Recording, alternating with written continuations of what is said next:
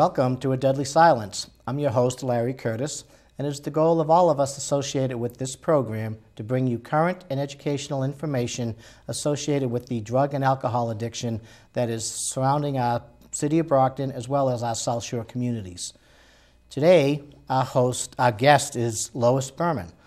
Lois is the host of The Psychic Mind here on Brockton Cable Access, as well as uh, some education background in the nursing field as well. Lois, welcome to our program. Well, thank you. Thank you very much for inviting me, and uh, I am honored that um, I am here today. And, and let me say that what a great job you and your staff are doing with this program. Thank you. Um, I'd like no, I'd like to thank you for doing that. And I also want you to know, in my own knowledge of energy about doing cable, you are reaching more people than you think. And there's somebody listening tonight, especially, that is looking for an answer, looking for uh, a new journey. And there's no doubt in my mind that the conversations that you have with this program and your guests you know, people are hearing you and they're being touched by it. Well, that thank you. That means an awful lot to all of us that work hard behind the scenes to, to bring this program forward. And you know, we always wonder, do we really touch somebody? Yeah, and you we, do. And we know it only takes one person to have a change happen that makes it all beneficial and worthwhile right. for all of us here. Absolutely. You know? It's like that pebble across the, uh, you know, across the river. Right. So mm-hmm. yeah, I think you're doing more than you think and I think that actually people should be a little bit more grateful that you're doing it. Well, we uh, we get a lot of feedback, you know, from individuals who have an opportunity to catch our show and uh, who you know become knowledgeable. As I think we've appeared, uh, Lois uh, Pe- Peggy was on your show, I believe, right. with Jackie Bonarigo, one of our other co-producers here. You know, so that's how we kind of help spread the word and get some more knowledge out there. But you know, this whole addiction issue is a real serious issue, uh, as we've seen in the enterprise. You know, through its you know uh, ongoing series of you know a wasted youth. You know, all the tragedy that's happening out there. You know, and um, you know maybe with some of your experiences, maybe we can kind of spin it a different way. You know, too often we look at the negativity of the addiction issue the impact it has not only on the addict, but the family and the loved ones and things of that nature. So, what is your take in relationship to this addiction uh, crisis that we're looking at? Let's talk a little bit about addiction, or let's talk a little bit about the brain. And uh, uh many years ago, I had a client who had an addiction problem, and she was addicted to ice cubes not a drug, mm-hmm. but an ice cube. And if she didn't have that ice cube, she would panic, she couldn't function, and she would really um, cause harm to herself. Mm-hmm. And so you think of the drug addict as the heroin and um, crack cocaine. Well, but the alcoholic. Uh, absolutely. You know, absolutely. But mm-hmm. let's look a little bit about how the brain works. And there are many circuits, keeping it simple. Mm-hmm. It's a very complex right. thing. I'm not a scientist, mm-hmm. I am not an expert. But when you take the brain and you look at it, it has all kinds of circuits. Mm-hmm you know, that electricity. Um, if you've had some sort of epilepsy or if you've had some sort of brain trauma, they put these electrodes and they measure the waves of your yep. brain. Mm-hmm. That's all in circuits. And if you investigated the brain, which apparently they are getting more into, there is a closed, to keep it simple, a closed circuit. Mm-hmm that maybe might open and close periodically, that is wide open or that is never open. And in that circuit, you have information that teaches you how to cope. So, addiction is the inability, if there's such a word, okay, the, um, the lack of knowledge of coping. You know, doctors and nurses, firemen, M, you know, EMTs, they have an ability to be able to function under stress. Mm-hmm. Maybe later they'll get a cup of coffee, but in that moment, their brain is focused. You know, do this, do this, do that. Then there are some people who panic, or there are some people that can't stop and think. So the addict has a misfiring, mm-hmm. and I like to talk about people who have past lives. I believe that we've been here before. And things that we have done or not done in a past lifetime get carried over to another lifetime. And so sometimes you could have a drug addiction in another lifetime or a closed circuit. And when you come into this lifetime, you choose your parents, you choose your friends, you choose your journey to learn the higher purpose of what it is that you need to accomplish in each lifetime. That is why some people can recover because they came to do that and they chose people to help them do that. There are some people that need to learn trust, patience.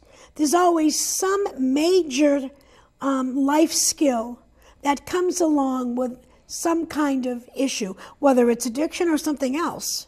Okay, what is your purpose? What what are you here to learn? And I think that some people take a higher cause, like you. Um, we're not getting personal on this program. No, but that's fine. But you are here because you chose to have an experience with your family in this lifetime that brought you to do this program. You mm-hmm. might have had a past lifetime as an addicted person and nobody rescued you. Now, let me kind of twist that a little bit. Yeah. Is, that, is it not possible then that I may be sitting here because somebody else chose something and I've chosen to respond in, in, in, in the face of that, their decision? Absolutely. You know. So you are learning about rescuing others mm-hmm. because no one rescued you. You have someone in your lifetime that looks to you to be rescued. Mm-hmm. Now, here is the issue. We, as the public, we as parents and friends, have to learn the appropriate way to rescue people that are asking for help. The enablers. So the addict, the, the the addict- addict, in essence, is crying for help That's right. by their involvement in the By drug be- or the alcohol, Right, by their you know, or the addiction. It, it could be any type of an addiction, as That's you right. pointed So earlier. let's not Yeah, talk yeah. about an addiction. Right, mhm. Let's talk about how people learn about behaving. Mm-hmm. And so this person, and what we need to learn is that I cannot, as they say, take you to a rehab or take you wherever you need to go, okay, as a rescuer. Mm-hmm. I have to say to you, as a rescuer, I can help you, but this is the way I can help you to help yourself. Mm-hmm. You need to go and find out what it is that you need about rescuing yourself. It's all about choice, it's all about responsibility. And the way the mind works when we are developing, um, you know, I'm a little chubette myself, and I'm always working on that. I have a food addiction, uh, and I love my carbs. I'm follically challenged. Okay, there you go. and I can remember as a, I think I was probably three years old, I was a thin child. Yep. And in those days, uh, you took out your adenoids and your tonsils. Mm-hmm. And the day I had my adeno, my adenoids and my tonsils out, I was sitting in my grandmother's kitchen. You know, the whole family's all there, and my mother's there, and she gave me a piece of cantaloupe.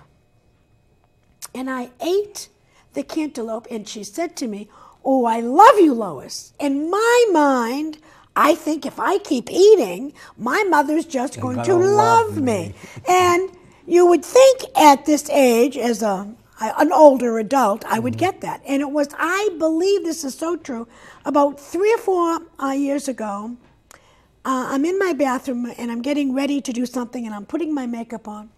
And all of a sudden, I hear my mother say to me, I said I loved you because I loved you, not because you were eating a piece of cantaloupe. But that association had a chemical balance in my brain.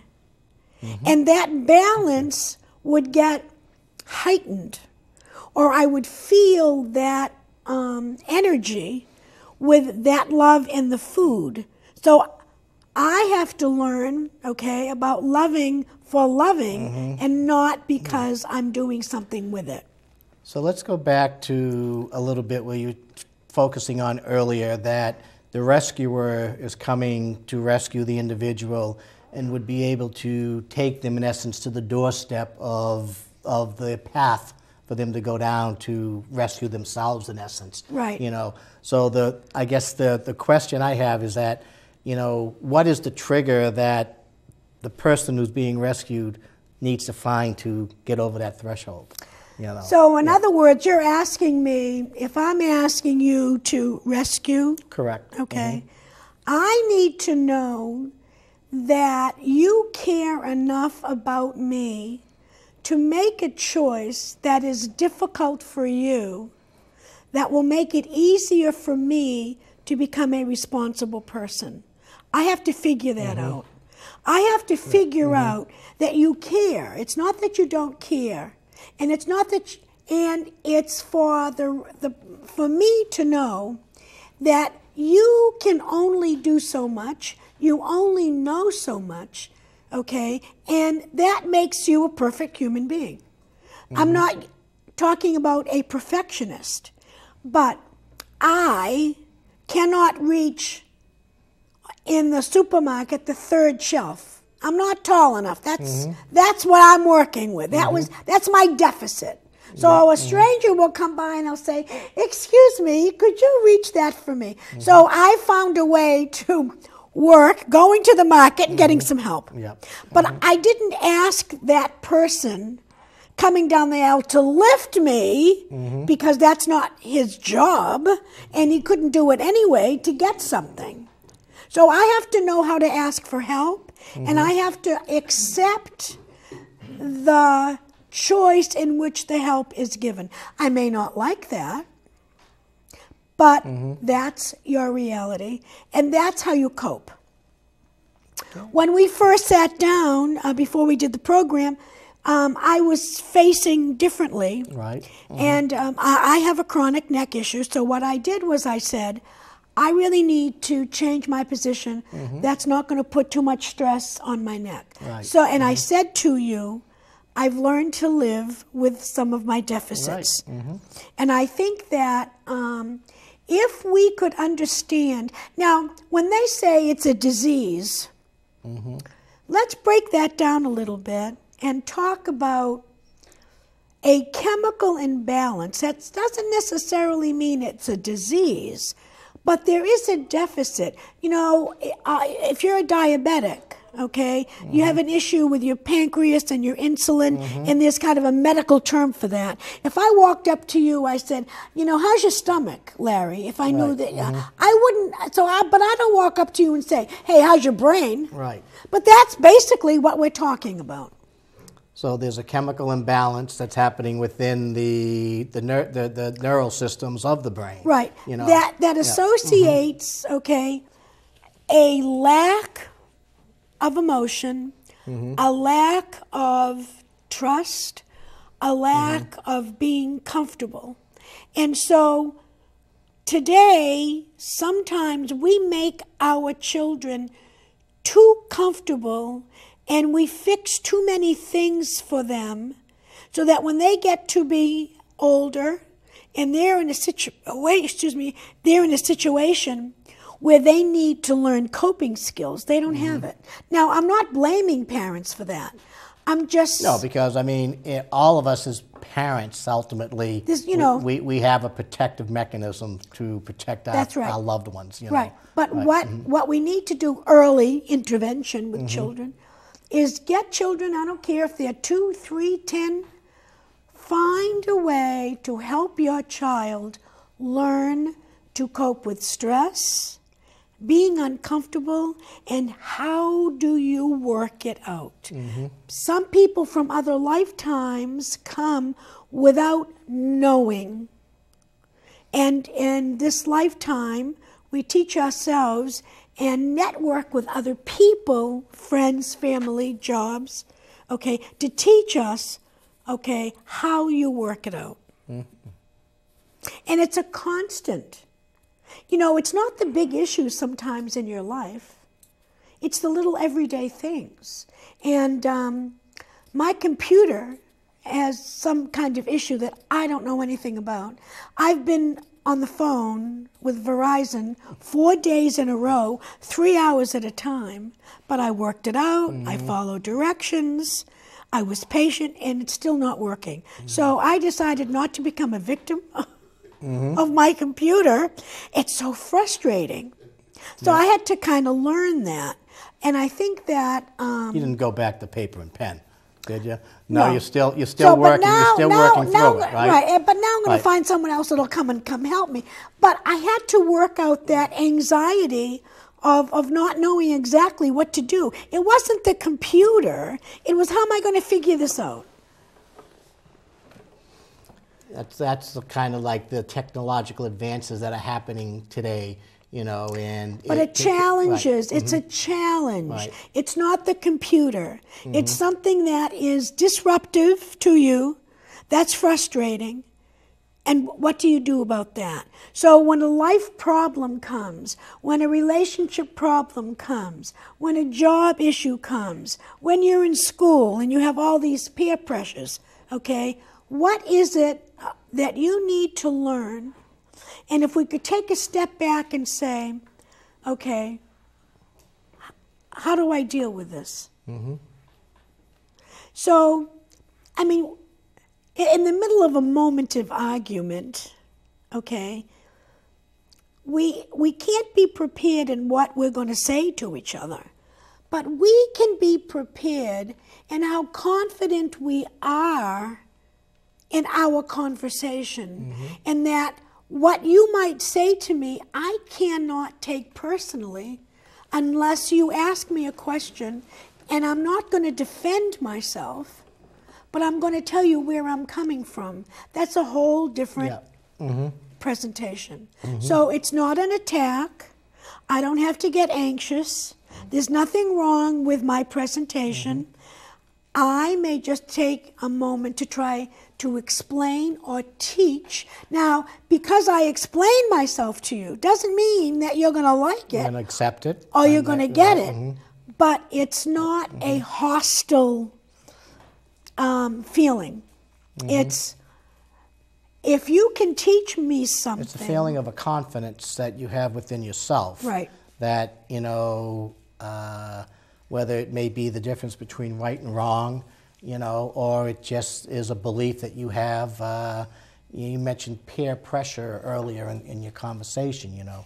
That's kind of one of the issues that, you know, we find, you know, that the, addiction, the addicted person, you know, got started because of peer pressure. Right. But, but they weren't I guess, balanced enough to think it through. But you can take that. Larry, you can take that Yeah. one step further, okay, and look at the bullying peer pressure. Bullying, yes, Okay, absolutely. and with all the electronics and the texting, okay, everything is so out of control because people aren't taking the time. They're not thinking about other ways to accomplish things.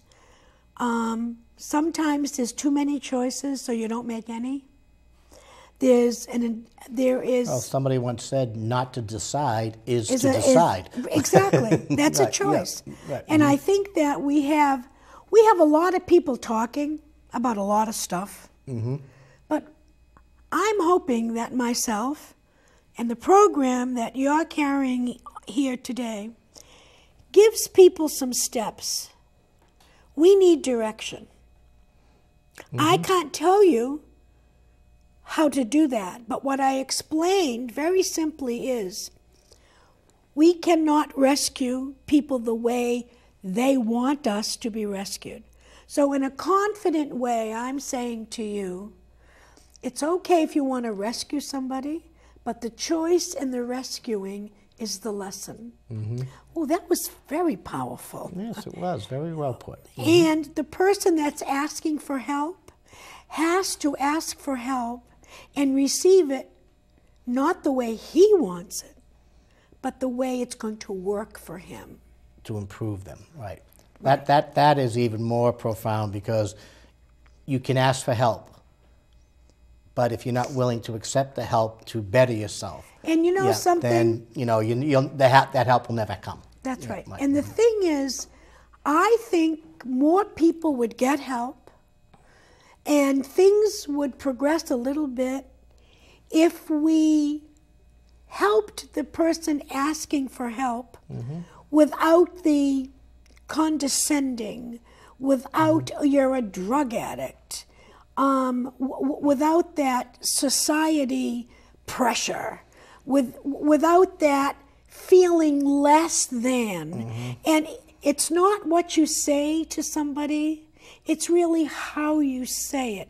So if we can continue, listen, I'm not telling you not to be angry and I'm not telling you not to be frustrated, but I'm trying to explain to you that when someone is in pain, mm-hmm. it's the kindness, the softness, the patience, and the trust that comes with helping someone to rescue themselves. Mm-hmm. And if we can, you know, if, if, if a child. So let me let me let Okay. me stop there for a second Yeah. and, and talk about the rescuer. In the case, let's call it the parent. Yeah. Okay, and the and whether the addict keeps coming to the parent and asking for that help to rescue them, and the parent believes that they're doing as much as they can. Of course. But the the person we asking for the rescue doesn't want to accept the, the the methods that you know the parent believes is the right way. Right. So how do we then rescue that parent? Because now that parent